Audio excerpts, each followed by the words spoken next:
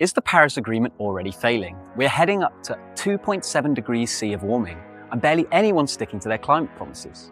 Only 20 countries have submitted updated climate plans. The rest, radio silence.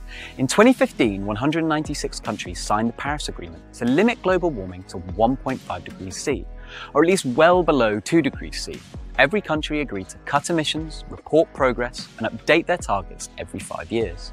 But nearly a decade later, where are we really? Each country was supposed to submit nationally determined contributions, or NDCs, but in the latest round of the global stocktake, only 20 countries have submitted updates. That's it, 196 down to 20. According to Climate Action Tracker, current policies will take us up to 2.7 degrees of warming. Even with optimistic net zero pledges, we're still looking at 2.1 degrees, which is above the limit scientists say is safe. And then there's climate finance.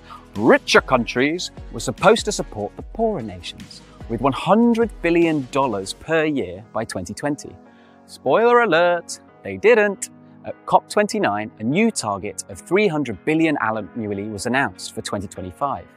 But a lot of this so-called support comes in the form of loans, adding to debt to nations already struggling with climate impacts they didn't cause.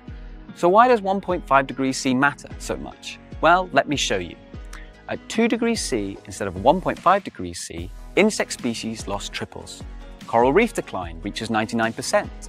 37% of people will face extreme heat every five years. Ice-free Arctic summers happen every 10 years instead of every 100. And going past 1.5 degrees C, it isn't just a number, it's a tipping point. The Paris Agreement is not dead, but it is on life support. Without bold action and accountability, it's just another paper promise. Subscribe for more no fluff takes on sustainability and let me know do you think the world will hit the targets or are we already too late?